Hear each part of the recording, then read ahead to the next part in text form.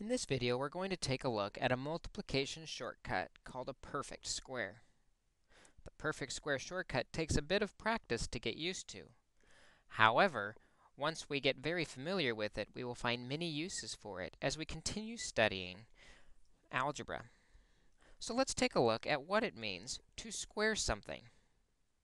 First, I want to note what we are not allowed to do is just square both a and b. That does not work. We can only put the 2 through, the exponent through, if a and b are multiplied together. Here they are added. Let's look at what squared means. Squared means we have a plus b multiplied together twice. If we were to multiply this out using FOIL, we would have a times a, or a squared, plus ab, plus ab, plus b squared. You'll notice when we do this, we get identical like terms in the middle. We get a squared plus 2ab plus b squared. We do see the two terms you would expect to see, a squared and b squared, in this problem. The only difference, though, that gets left out is there's this 2ab in the middle that 2ab comes from multiplying the outside and inside together, which is completely identical, a times b and b times a. We have that ab there twice.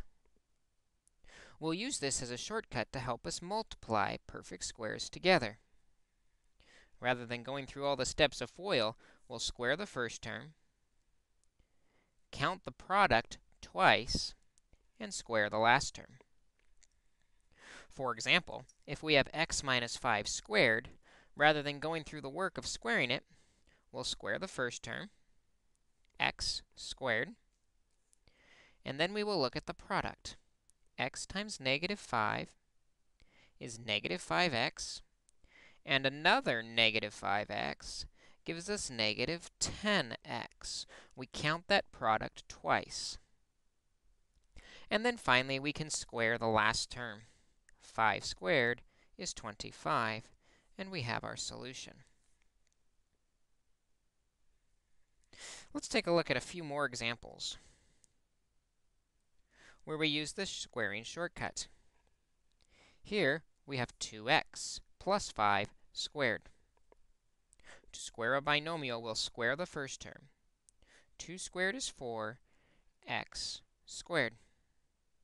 Then we have the product twice. 2x times 5 is 10x, and another 10x is positive 20x, because we have to count the product twice.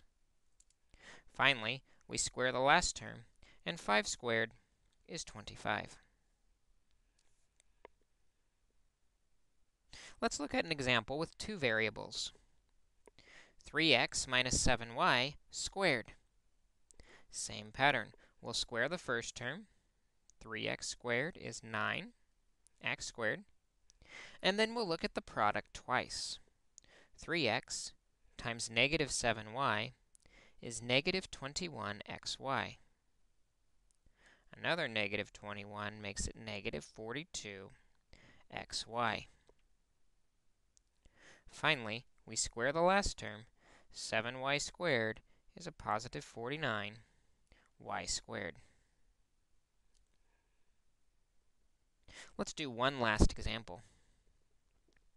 5a plus 9b squared. We square the first term. 5a squared becomes 25a squared. And then we have the product twice. 5a times 9b is 45ab.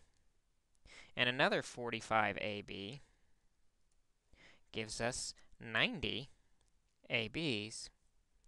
And finally, we square the last term. Squaring 9b gives us 81. I'm running out of space. 81 b squared. And that's our final solution. Square the first, twice the product, square the last for perfect squares.